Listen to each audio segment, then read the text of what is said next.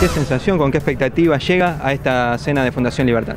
Y con la sensación de, ser parte de la historia, ¿no? de, la fundación, de tantos años este, junto con, Gerardo, con todos los chicos, bueno, chicos, ya no somos más chicos cuando éramos chicos, este, y mucha alegría, realmente este, una pasión y bueno, esperar que, que, sea tal cual fue el año pasado, que fue una, una cena hermosísima, yo creo que este año este, con muchas más ganas, aparte cumplir un número cerrado hace que nosotros justo este año cumplimos también 50, así que este, nos pone muy, muy feliz.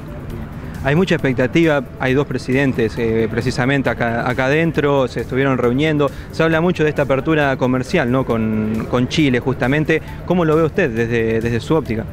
Bien, bien, tuve la suerte justamente hace dos semanas de disfrutar casi cuatro horas a solas con el, con el embajador saliente justamente y me estaba comentando de cómo volver nuevamente a, tratar con Chile. Yo creo que, si ustedes recuerdan, hará unos 15, 20 años, este, con otro de los directores, otrora de la, de la Fundación, se creó en Rosario justamente la, Cámara Argentina Chilena.